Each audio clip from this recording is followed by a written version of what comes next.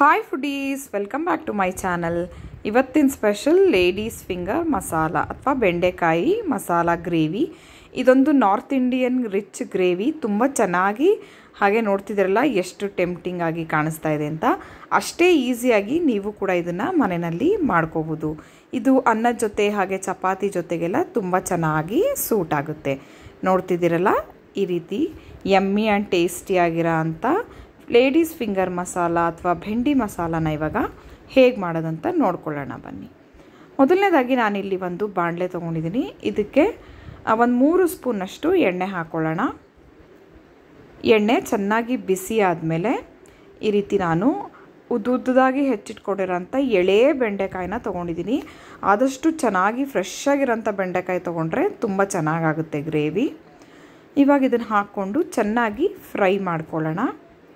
ಬೆಂಡೆಕಾಯಿ ಲೋಳೆ ಅಂಶ ಎಲ್ಲ ಇರುತ್ತಲ್ಲ, ಅದೆಲ್ಲ ಚೆನ್ನಾಗಿ ಹೋಗಬೇಕು.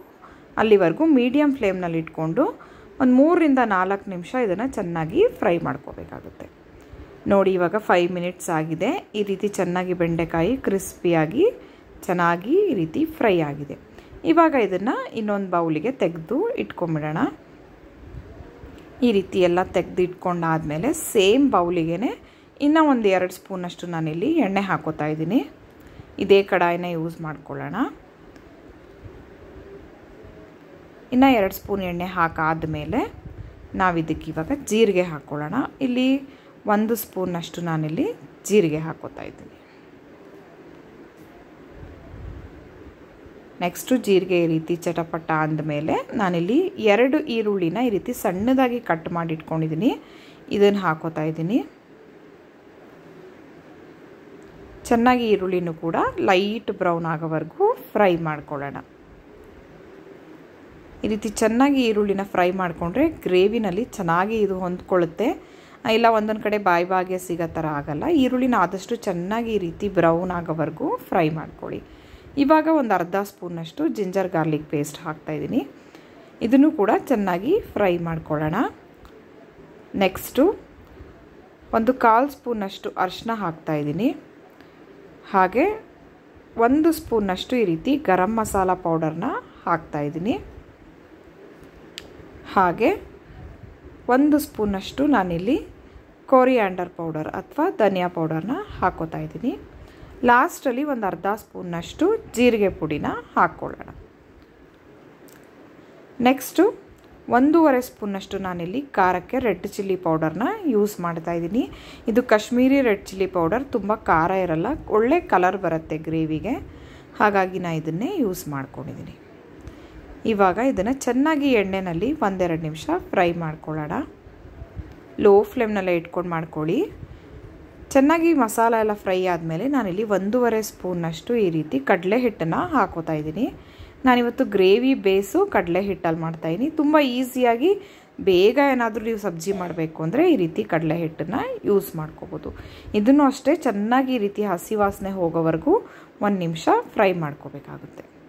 ಚೆನ್ನಾಗಿ ಫ್ರೈ ಮಾಡ್ಕೊಂಡಾದಮೇಲೆ ಸ್ವಲ್ಪ ನೀರು ಹಾಕ್ಕೊಳ್ಳೋಣ ಒಂದು ಅರ್ಧ ಬಟ್ಲಷ್ಟು ನೀರು ಹಾಕ್ಕೊಂಡು ಇದನ್ನು ಚೆನ್ನಾಗಿ ಈ ರೀತಿ ಮಿಕ್ಸ್ ಮಾಡ್ಕೊಳ್ಳೋಣ. ಈ ರೀತಿ ಚೆನ್ನಾಗಿ ಮಿಕ್ಸ್ ಮಾಡ್ಕೊಂಡಾದಮೇಲೆ ನಾನಿಲ್ಲಿ ಸುಮಾರು ಮೂರು ಟೊಮ್ಯಾಟೋನ ಈ ರೀತಿ ಫೈನಾಗಿ ಪೇಸ್ಟ್ ಮಾಡಿ ಇಟ್ಕೊಂಡಿದ್ದೀನಿ ನಾನು ಇದಕ್ಕೆ ನೀರೇನು ಹಾಕಿಲ್ಲ. ಜಸ್ಟ್ ಟೊಮ್ಯಾಟೋನ ಮಿಕ್ಸಿ ಮಾಡಿ ಹಾಕ್ಕೊಂಡಿದ್ದೀನಿ ಸುಮಾರು ಮೀಡಿಯಮ್ ಸೈಜ್ದು ಮೂರು ಟೊಮ್ಯಾಟೋನ ನಾನಿಲ್ಲಿ ಯೂಸ್ ಮಾಡಿದ್ದೀನಿ ಇವಾಗ ಇದನ್ನು ಮಸಾಲ ಜೊತೆ ಹಾಕಿ ಚೆನ್ನಾಗಿ ಎಣ್ಣೆ ಬಿಟ್ಕೊಳ್ಳೋವರೆಗೂ ಇದನ್ನು ಫ್ರೈ ಮಾಡ್ಕೋಬೇಕಾಗುತ್ತೆ. ಇವಾಗ ಮೀಡಿಯಮ್ ಫ್ಲೇಮ್ ಮಾಡಿಕೊಂಡು ಒಂದು ಲಿಡ್ಡನ್ನು ಕ್ಲೋಸ್ ಮಾಡಿ ಚೆನ್ನಾಗಿ ಇದನ್ನು ಫ್ರೈ ಮಾಡ್ಕೊಳ್ಳೋಣ. ಮಧ್ಯ ಮಧ್ಯ ತಳ ಹತ್ತೋ ಚಾನ್ಸಸ್ ಇರುತ್ತೆ. ಕೆದಕ್ಕೋತಾ ಇರಿ. ನೋಡಿ ಈ ರೀತಿ ಮಧ್ಯ ಮಧ್ಯ ನಾನು ಕೈ ಆಡ್ಕೋತಾ ಒಂದು ಐದು ನಿಮಿಷ ಈ ರೀತಿ ಚೆನ್ನಾಗಿ ಫ್ರೈ ಮಾಡ್ಕೊಂಡಿದ್ದೀನಿ. ಇವಾಗ ಈ ರೀತಿ ಚೆನ್ನಾಗಿ ಎಣ್ಣೆ ಬಿಟ್ಟು ಒಳ್ಳೆ ಘಮ ಬರ್ತಾಯಿದೆ ಈ ಹದಕ್ಕೆ ನೀವು ಕೂಡ ಮಾಡ್ಕೋಬೇಕಾಗುತ್ತೆ. ಈ ರೀತಿ ಚೆನ್ನಾಗಿ ಗ್ರೇವಿ ರೆಡಿ ಆದಮೇಲೆ ನಾವು ಆವಾಗಲೇ ಹುರಿದಿಟ್ಕೊಂಡಿದ್ವಲ್ಲ, ಆ ಬೆಂಡೆಕಾಯಿನ ಇದ್ರ ಜೊತೆಗೆ ಸೇರಿಸ್ಕೊಳ್ಳೋಣ. ಈ ರೀತಿ ಸೇರಿಸಿ ಚೆನ್ನಾಗಿ ಮಿಕ್ಸ್ ಮಾಡ್ಕೊಳ್ಳೋಣ. ಫಸ್ಟು ಮಸಾಲ ಜೊತೆ ಚೆನ್ನಾಗಿ ಹೊಂದಿಸ್ಕೊಳ್ಳಿ.